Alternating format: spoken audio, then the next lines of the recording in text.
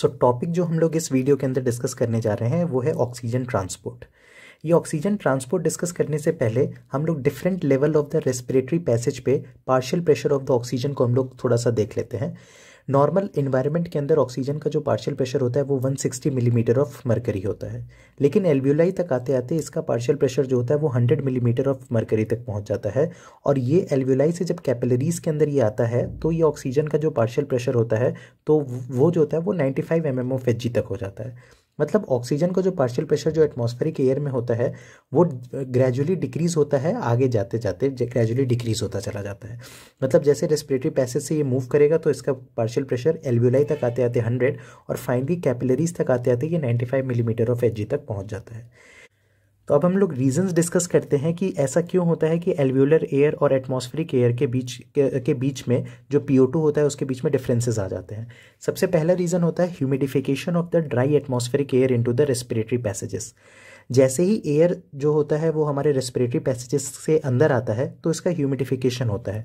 और ह्यूमिडिफिकेशन होने की वजह से ये जो एयर होता है उसके अंदर जो पी होता है वो धीरे धीरे ग्रेजुअली डिक्रीज होता चला जाता है। सेकेंड रीजन होता है alveolar air is only partially replaced by the atmospheric air ऐसा तो है नहीं कि एलव्यूलर एयर में जैसे ही हम लोग एक्सपायर करते हैं तो सारा का सारा एयर बाहर निकल जाता है, फिर कंप्लीट एक नया एटमॉस्फेरिक एयर आता है, फिर उसको कंप्लीटली फिल करता है। ऐसा तो होता नहीं है। होता क्या है, जब हम लोग एक्सपायर करते हैं तो फ्रैक्शन ऑफ़ द एयर इसके अंदर रिमेन रहता है, जिसको हम लोग रेसिडुअल वॉल्यूम कहते हैं, और बाकी एयर इसके अंदर से निकल जाता है। तो वो जो एयर रिमेन है तो जो एयर रिमेन है, उसके बाद फिर पार्शियल एटमॉस्फेरिक एयर आया। ये दोनों का यहाँ मिक्सिंग हुआ, जिस वजह से पी जो होता है, वो 160 जो, कि एटमॉस्फेरिक एयर के अंदर जो पी होता है उससे डिक्रीज हो जाता है। तीसरा रीज़न जो होता है वो ये होता है कि oxygen is constantly being absorb in the pulmonary blood यहाँ से एल्व्यूलाई से ऑक्सीजन जो है, वो कॉन्स्टेंटली एब्जॉर्ब हो रहा है पल्मोनरी ब्लड के अंदर, जिस वजह से पी जो होता है, वो अफेक्टेड अफेक्ट होता है। और चौथा रीज़न होता है कि कार्बन डाइऑक्साइड कॉन्स्टेंटली डिफ्यूज़ हो रहा है फ्रॉम द पल्मोनरी ब्लड और कार्बन डाइऑक्साइड के डिफ्यूज़ होने की वजह से भी, क्योंकि कार्बन डाइऑक्साइड यहाँ से डिफ्यूज़ होकर के एल्वुलाई में जा रहा है, ताकि वो एक्सपायर हो सके, इस वजह से भी पी जो होता है, वो अफेक्टेड होता है। Now coming up to our main topic that is methods of oxygen transport oxygen transport जो हमारे बॉडी के अंदर होता है, हमारे ब्लड के अंदर होता है, वो मेनली दो मेथड से होता है। पहला, जो कि ऑक्सीजन जो होता है, वो कंबाइंड विथ ऑक्सीजन हीमोग्लोबिन होता है। ऑक्सीजन कंबाइंड विथ हीमोग्लोबिन ये 97 परसेंट ऑफ़ द ट्रांसपोर्ट जो होता है, वो ऑक्सीजन का होता है in combination with the haemoglobin और 3 परसेंट ऑफ़ द ट्रांसपोर्ट जो होता है ऑक्सीजन का, वो होता है बाई डिजॉल्ड इन प्लाज्मा तो सबसे पहले हम लोग देखेंगे डिजॉल्व इन प्लाज्मा जब हम लोग देखते हैं कि ऑक्सीजन जो होता है, जैसे ही हम लोग एल्वुलाई से देखते हैं कि ऑक्सीजन जो होता है, वो आता है पल्मोनरी ब्लड के अंदर तो पल्मोनरी ब्लड के अंदर 97 परसेंट ऑफ़ द ऑक्सीजन जो होता है, वो हीमोग्लोबिन के साथ जाकर के कंबाइन हो जाता है, जो कि आरबीसी के अंदर प्रेजेंट होता है। बचा हुआ थ्री परसेंट ऑक्सीजन जो होता है, वो प्लाज्मा के अंदर डिजॉल्व हो जाता है। अब ऑक्सीजन जो प्लाज्मा के अंदर डिजॉल्व होगा, वो कितना अमाउंट डिजॉल्व होगा, वो डिटरमाइन करने के लिए एक लॉ होता है, जिसको हम लोग कहते हैं हेनरी लॉ हेनरी लॉ वो कहता है हेनरी लॉ कहता है कि कितना अमाउंट डिजॉल्व होगा किसी भी फ्लूड के अंदर कोई भी गैस वो डिपेंड करता है उसके पार्शियल प्रेशर पे। और डिपेंड डिपेंडेंसी को हटाने के लिए हम लोग एक कांस्टेंट लगा देते हैं। तो हेनरीज लॉ कहता है कि amount that is that it will be dissolve is equal to the constant into partial pressure मतलब जितना ज़्यादा पार्शियल प्रेशर होगा गैस का, उतना ज़्यादा अमाउंट डिजॉल्व होगा। तो ये हेनरी लॉ कहता है। तो इस अकॉर्डिंग हम लोग समझते हैं कि पार्शियल प्रेशर अगर ज़्यादा होगा तो जो ऑक्सीजन डिजॉल्व होगी प्लाज्मा में वो ज़्यादा होगी। इसी का एक क्लिनिकल क्लिनिकल एप्लीकेशन हम लोग को देखने को मिलता है कि अगर कोई पर्सन जो है वो ब्रीथ कर रहा है ऑक्सीजन को बहुत ही ज़्यादा एल्व्यूलर पी पे मतलब वो जो है वो हाइपर uh, मतलब ऑक्सीजन का मतलब हंड्रेड परसेंट ऑक्सीजन थेरेपी ले रहा है या फिर हाइपर बारिक प्रेशर पे ऑक्सीजन थेरेपी ले रहा है कंटिन्यूस ऑक्सीजन जो है वो हाई एल्व्यूलर पी पे वो ले रहा है ब्रीथ कर रहा है। इस वजह से क्या होगा कि जो oxygen dissolve in the plasma है, उसका अमाउंट इंक्रीज हो जाएगा। क्योंकि पार्शियल प्रेशर इंक्रीज हो जाएगा तो अमाउंट इंक्रीज हो जाएगा। अमाउंट इंक्रीज होने की वजह से क्या होगा कि अमाउंट जब oxygen dissolve in the plasma का इंक्रीज हो जाता है तो फिर हो जाता है उस पर्सन को ऑक्सीजन पॉइजनिंग तो ये एक इसका क्लिनिकल एप्लीकेशन है जो हम लोग को देखने को मिलता है।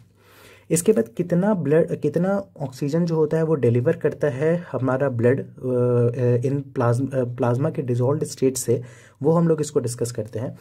तो अगर इस इस इक्वेशन में हम लोग लगाते हैं, इस पूरे इस पूरे इक्वेशन में जब हम लोग पार्शियल प्रेशर को रखते हैं तो हम लोगों को पहले, सबसे पहले हम लोग इस रिप्रेजेंटेशन को देख रहे हैं। एक एक सर्कुलेशन है नॉर्मल सिस्टमिक सर्कुलेशन है, जिसके अंदर ये लंग्स है, ये टिश्यूज़ है। लंग्स से टिश्यूज़ की तरफ़ ऑक्सीजनेटेड ब्लड जा रहा है और टिश्यूज़ से लंग्स की तरफ़ डीऑक्सीजनेटेड ब्लड जा रहा है। लंग से टिश्यूज़ की तरफ़ जब ऑक्सीजनेटेड ब्लड जाता है तो इस समय में जो ऑक्सीजन का जो जो पी होता है आर्टरीज के अंदर, वो होता है ninety five M M of H G होता है।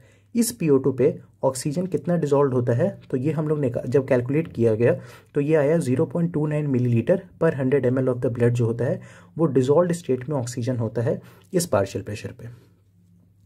जो डीऑक्सीजनेटेड ब्लड होता है मतलब जब टिश्यूज से लंग्स की तरफ़ ब्लड जा रहा होता है तो partial pressure of the oxygen जो होता है, वो forty M M of H G होता है। और इस पार्शियल प्रेशर पे जो डिजॉल्व ऑक्सीजन होता है, वो होता है point one two millilitre per hundred M L of the blood होता है।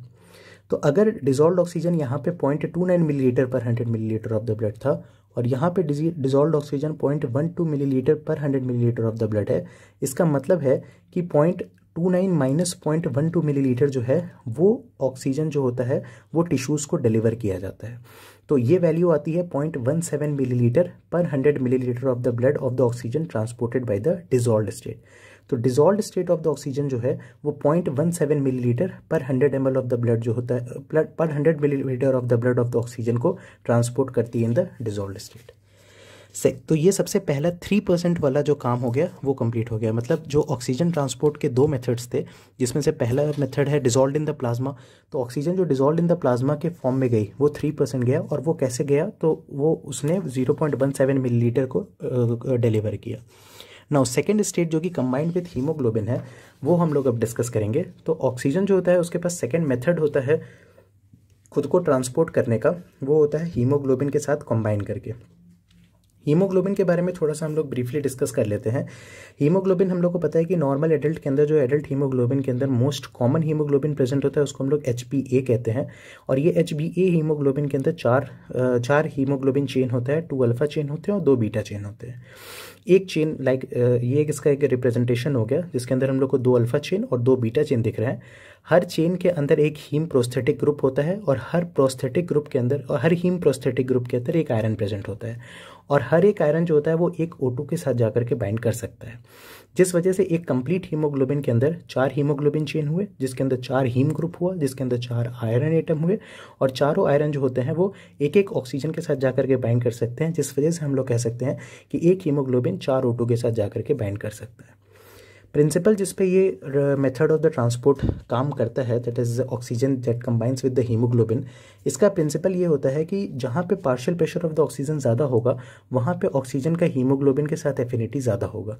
मतलब लंग्स के अंदर क्योंकि partial pressure of the oxygen ज़्यादा होता है, जिस वजह से ऑक्सीजन हीमोग्लोबिन से बाइंड करता है टिश्यूज़ के अंदर partial pressure of the oxygen कम होता है, जिस वजह से ऑक्सीजन जो होता है वो हीमोग्लोबिन से रिलीज़ हो जाता है। इसको हम लोग और डायग्रामेटिकली और अच्छे से समझने के लिए कर्व हम लोग डिस्कस करते हैं, जिसका नाम है oxygen haemoglobin dissociation curve oxygen haemoglobin dissociation curve जो है, वो यही कहता है कि जब भी हम लोग partial pressure of the oxygen in the blood को इंक्रीज करते हैं तो percentage of the haemoglobin bound to the oxygen increase हो जाता है। पर ये इंक्रीज जो होता है, वो सिग्मोइड मैनर में आता है, जिस वजह से ये कर्व जो होता है, वो कुछ इस तरह का दिखता है।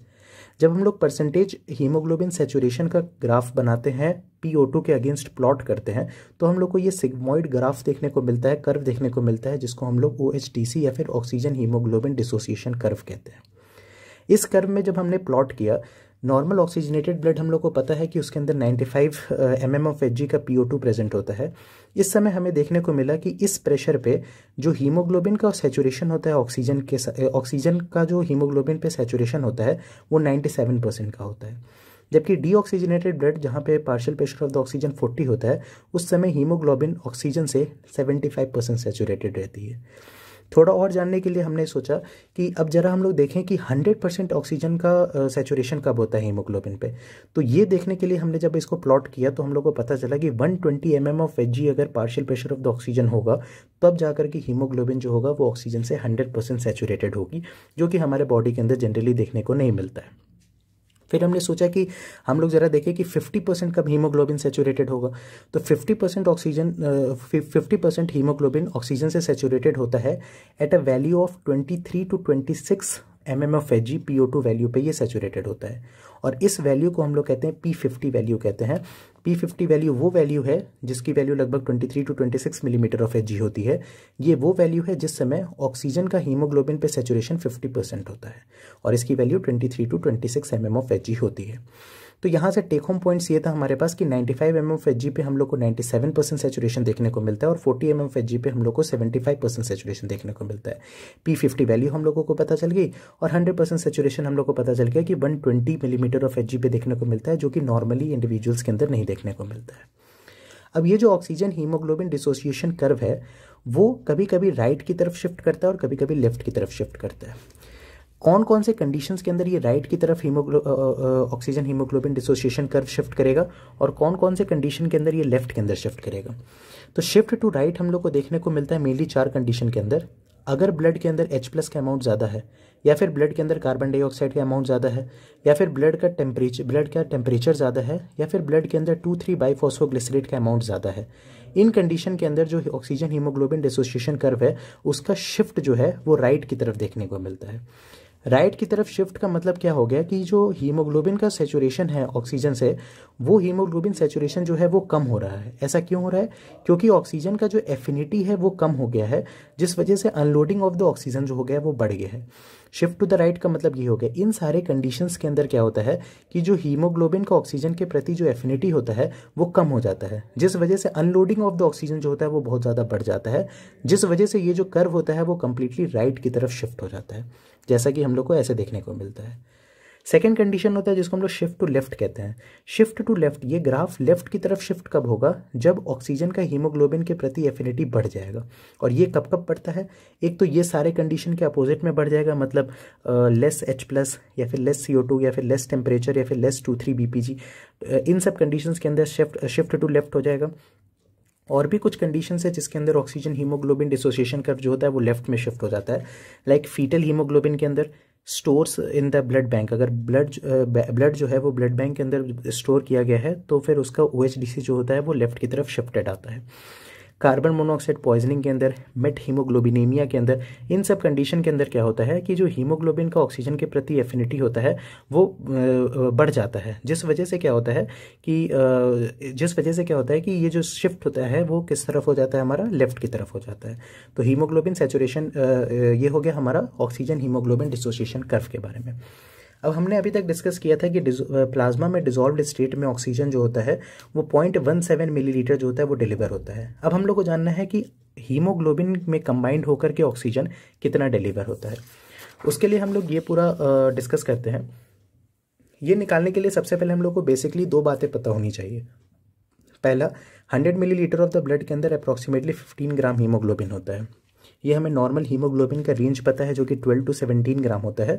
तो नॉर्मल हम लोग अगर कंसिडर मान के चलें कि 100 मिलीलीटर ऑफ़ द ब्लड के अंदर 15 ग्राम हीमोग्लोबिन प्रेजेंट होता है।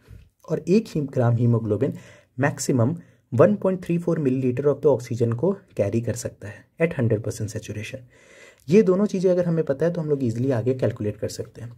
आर्टेरियल ब्लड के अंदर हम लोग को पता है कि आर्टेरियल ब्लड के अंदर जहाँ पे पी जो होता है वो जहाँ आर्टेरियल ब्लड के अंदर जहाँ पे P O two ninety five M M G होता है तो वहाँ पे सेचुरेशन कितना होता है? नाइन्टी सेवन परसेंट सेचुरेशन होता है। तो हंड्रेड परसेंट सेचुरेशन में अगर एक gram haemoglobin one point three four millilitre of the oxygen को कैरी कर सकता है तो नाइन्टी फाइव परसेंट सेचुरेशन में कितना करेगा? Ninety seven percent of the one point three four millilitre जो कि अप्रॉक्सीमेटली आता है one point two nine millilitre of the oxygen तो अगर वन ग्राम हीमोग्लोबिन जो है, वो 95 97 परसेंट सेचुरेशन पे 1.29 मिलीलीटर ऑफ़ द ऑक्सीजन को कैरी कर रहा है तो 15 ग्राम हीमोग्लोबिन कितना करेगा? तो 15 इंटू वन जिसकी वैल्यू आ जाती है 19.5 मिलीलीटर पर 100 एम ऑफ़ द ब्लड हो जाएगा, क्योंकि 15 ग्राम हीमोग्लोबिन हमने कंसिडर कर लिया। डिजोल्व फॉर्म में ऑक्सीजन ट्रांसफ़र हो रहा था point two nine millilitre per hundred M of the blood जो कि हमने पहले कैलकुलेट किया था। यहाँ हमने कैलकुलेट किया था कि डिजॉल्व फॉर्म में जो 95 five M M of H पे जो आर्टेरियल ब्लड था, उसके अंदर ऑक्सीजन ट्रांसपोर्ट हो रहा था point two nine millilitre per hundred M of the blood तो डिजोल्व फॉर्म में हो गया point two nine millilitre per hundred M of the blood और हीमोग्लोबिन के फॉर्म में हो गया nineteen point five millilitre per hundred M of the blood तो complete concentration of the oxygen in the arterial blood कितना हो जाएगा? Nineteen point five plus point two nine which approximately equals to nineteen point eight millilitre per hundred M of the blood वैसे हम लोग venous blood calculate करते हैं। Venus blood के अंदर एक ग्राम हीमोग्लोबिन के अंदर सेचुरेशन जो होता है वो सेवेंटी फाइव परसेंट होता है यहाँ पे। अभी हमने ऑक्सीजन हीमोग्लोबिन डिसोसिएशन कर्व से देखा कि वीनस ब्लड का पार्शियल प्रेशर जो होता है वो फोर्टी एम एम होता है और उस पार्शियल प्रेशर पे जो सेचुरेशन होता है वो सेवेंटी फाइव परसेंट होता है। तो अगर हंड्रेड परसेंट सेचुरेशन पे एक ग्राम हीमोग्लोबिन के अंदर one point three four millilitre of the oxygen transport किया जा सकता है तो सेवेंटी फाइव परसेंट सेचुरेशन के अंदर सेवेंटी फाइव परसेंट सेचुरेशन के साथ एक ग्राम हीमोग्लोबिन के अंदर seventy five percent of the one point three four millilitre of the oxygen को कैरी किया जा सकता है।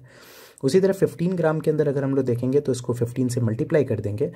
और डिजोल्व ऑक्सीजन जो था, वो वीनस ब्लड के अंदर वो कितना था हमारे पास? Point one two millilitre per hundred M of the blood तो यहाँ पे dissolve oxygen point one two millilitre per hundred M of the blood हो जाता है।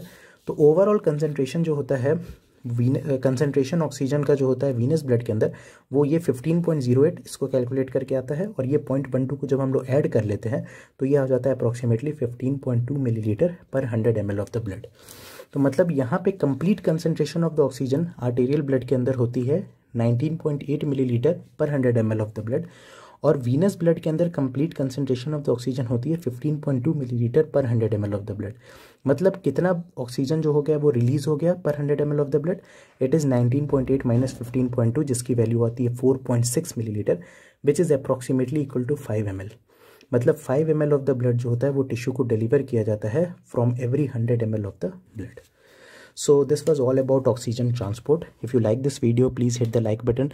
Uh, do share with your friends and subscribe our channel. If you want notes for these videos uh, message me on my instagram handle. Link is given in the description below. Thank you